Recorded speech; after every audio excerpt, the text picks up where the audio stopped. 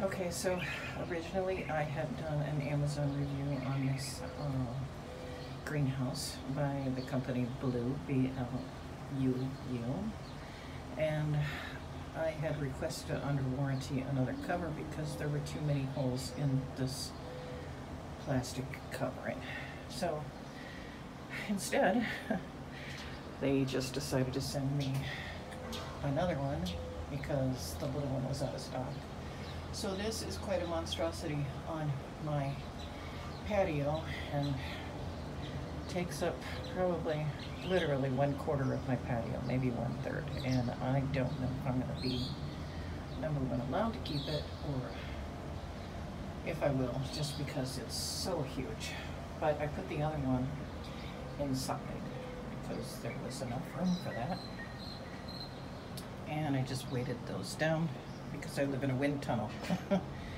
so it helped to take those bungee cords and I just put them and I wrapped it around the deck and that was doing pretty nicely but all right so these are the only ones that survived.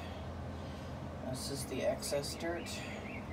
Um, actually it's vermiculite and peat moss it's taking forever to dry out these are the little cups that didn't survive. So I decided instead of wasting any more time and effort that I was going to take some ice cube trays and just kind of make double terrariums. These are the famous croissant covers that I've been saving.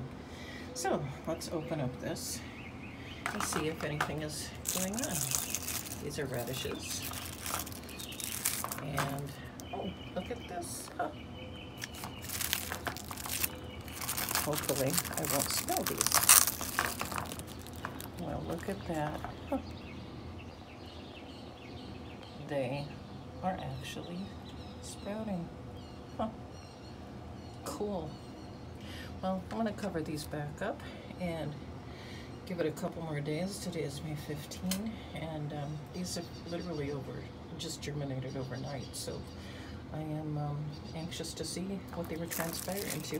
I did open up all the other ones, the watermelon, the snap peas, onions, and lettuce, but they have not blossomed yet, so hopefully they will. And I'm just gonna put this back in here, tuck that away.